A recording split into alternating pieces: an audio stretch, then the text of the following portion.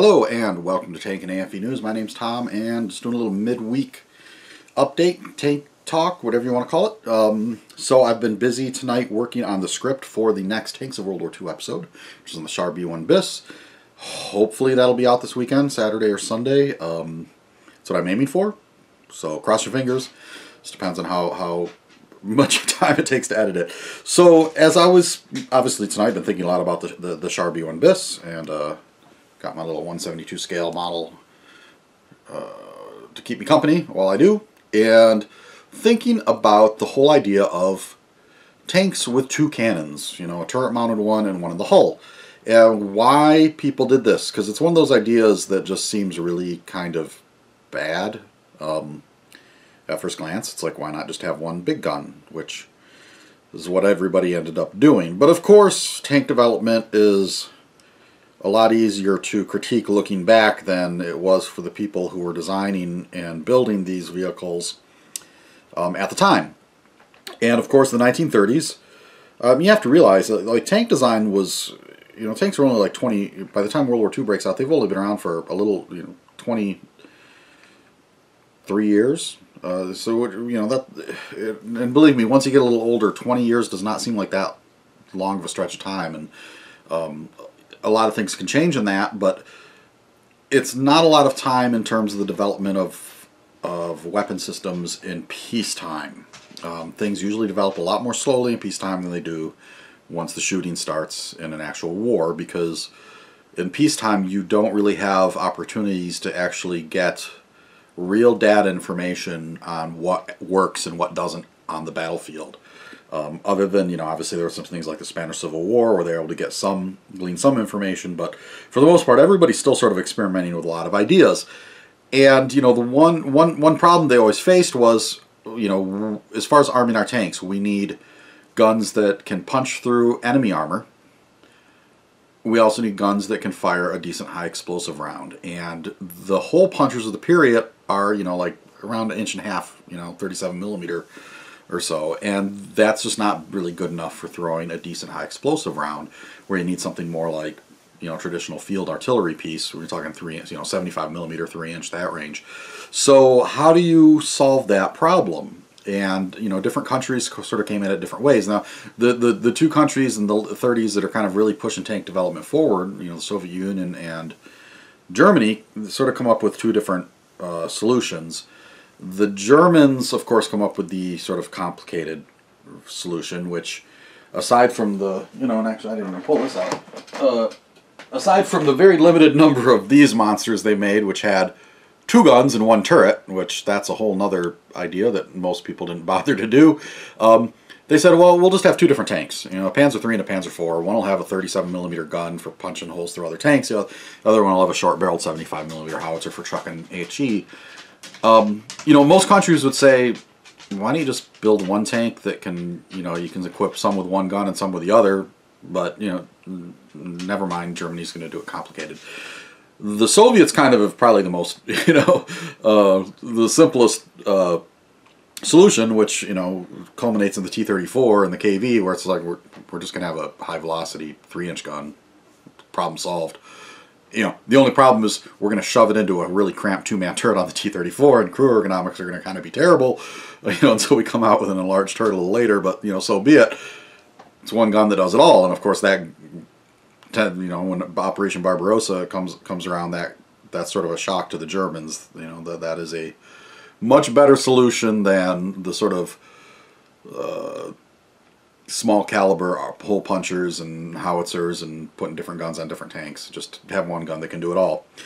Um, and then, of course, we have the Western Allies, Britain, France, and the United States, who all kind of, at some point, dabble with the idea of a tank that's got both guns, types of guns in them. So, you know, they say, well, why not just do both and we'll stick one in the hull. And that would be first seen in the Char B1 bis, the French one. And this French tank, it's a funny one because it's obviously, you look at it, this thing looks like, it looks pretty steampunk. It looks like something from World War One, and it is a 1920s design, basically. It's, it's sort of like a 1920s um, assault gun with a 1930s French turret slapped on top of it just to sort of try to make it into a real tank.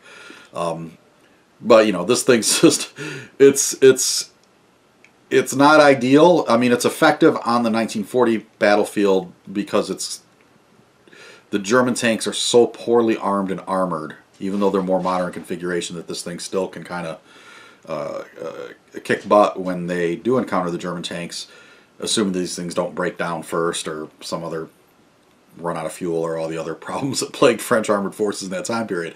Um, but this would very quickly become a fairly obsolete platform because it is a very 1920s tank in conception, um, almost sort of like a modernized version of the old Saint Chamond, where you just you basically want this big assault gun thing. Um, oh, this one does have a turret on the top. Um, and that solution of just putting one man turret on the top creates just yes it's a four man crew but it, the the workload is not distributed very well because again you got the commander having to be the loader and gunner the driver has to be a gunner because the gun has zero traverse so he has to aim the entire vehicle um, it's it's it's a weird vehicle and it's one that sort of the French you know, it's almost already obsolete by the time they start producing it seriously in the late 30s, but it's kind of what they've got, what they have to work with. They don't have time to go and produce, uh, design something more modern to fill that sort of 30 ton range of, of uh, char de combat, as they call it. Uh, next, we go across the Atlantic to the United States, and of course, there it's probably the most famous of the tanks with two guns, the M3 Lee.